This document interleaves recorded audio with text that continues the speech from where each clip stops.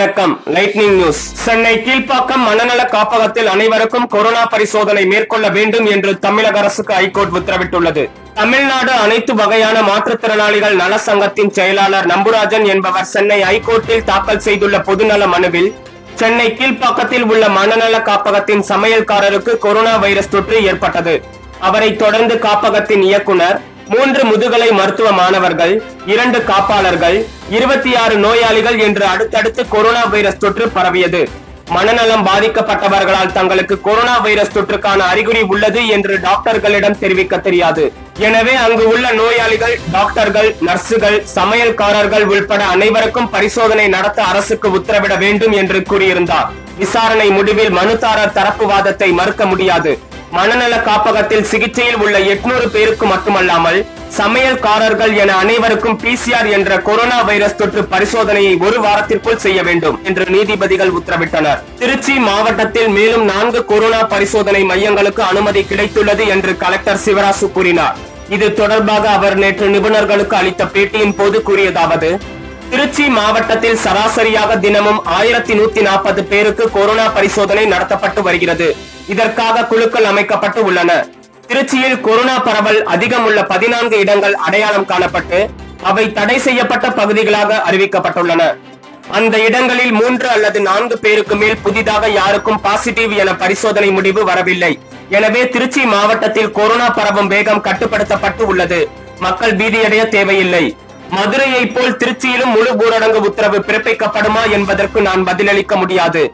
Corona தடுப்பு பணியில் ஈடுபட்ட திருச்சி மாநகராட்சி பணியாளர்கள் நாற்பத்தி மூன்று பேருக்கு கொரோனா தொற்று உறுதி செய்யப்பட்டிருந்தது. அவர்களில் பெரும்பாலானவர்கள் தற்போது குணமடைந்து விட்டனர். திருச்சி மாவட்டத்தில் மேலும் நான்கு கொரோனா பரிசோதனை மையங்களுக்கு அனுமதி கிடைத்துள்ளது. திங்கட்கிழமை முதல் அவை செயல்பட தொடங்கும். கிராமப்புறங்களில் பிரச்சனை இல்லை. நகர்ப்புறங்களில் தான் அதிகம் கவனம் செலுத்தி வருகிறோம்.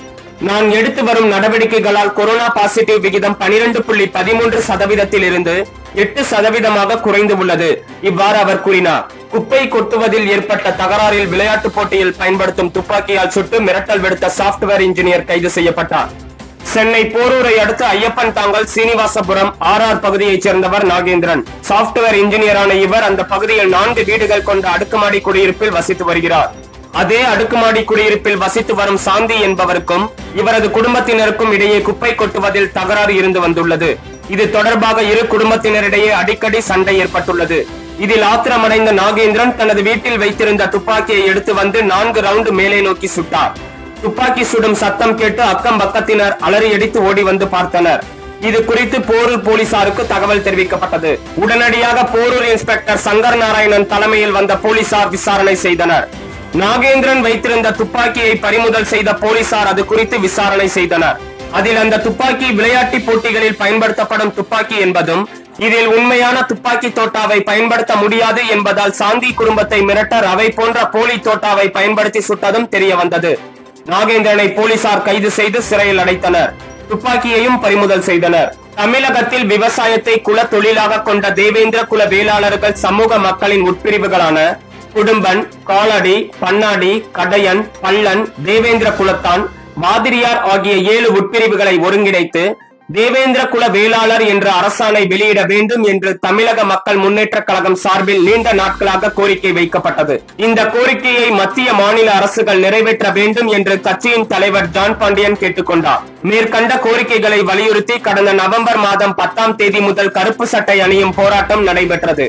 இந்த போராட்டம் நேற்று இருநூத்தி ஐம்பதாவது நாளை எட்டியது. இதையொட்டி நேற்று வீடுகளில் கருப்பு கொடி ஏற்றும் போராட்டம் நடந்தது. பாளையங்கோட்டை மணக்காவலன் பிள்ளை நகரில் உள்ள கட்சியின் தலைவர் ஜான் பாண்டியன் வீட்டில் நேற்று கருப்பு கொடி ஏற்றப்பட்டது. இதேபோல் மாமனூர் சிவந்திப்பட்டி மேலநத்தம் திருங்கூர்குடி ஆகிய இடங்களிலும் ஆர்ப்பாட்டம் நடந்தது. கட்சி நிர்வாகிகள் அனைவரின் வீடுகளிலும் கருப்பு கொடி ஏற்றப்பட்டது. தமிழகத்தில் பிளஸ் டூ தேர்வு கடந்த மார்ச் மாதம் நடைபெற்றது. இந்த தேர்வு முடிவுகள் நேற்று வெளியானது. மொத்தம் பத்தொன்பதாயிரத்து முன்னூத்தி பனிரெண்டு பேர் பிளஸ் டூ தேர்வு எழுதியிருந்தனர்.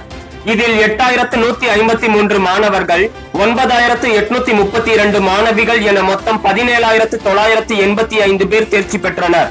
இதன் மூலம் மாணவர்கள் தொண்ணூறு புள்ளி ஐம்பத்தி ஒரு சதவீதமும் மாணவிகள் தொண்ணூத்தி ஐந்து புள்ளி நாற்பத்தி இரண்டு சதவீதமும் தேர்ச்சி அடைந்துள்ளனர். இதனால் திண்டுக்கல் மாவட்டத்தில் பிளஸ் டூ மாணவ மாணவிகளின் ஒட்டுமொத்த தேர்ச்சி விகிதம் தொண்ணூத்தி மூன்று புள்ளி பதிமூன்று சதவீதமாகும். அதே நேரம் கடந்த ஆண்டு தேர்ச்சி விகிதம் தொண்ணூறு புள்ளி எழுபத்தி ஒன்பது சதவீதமாகும்.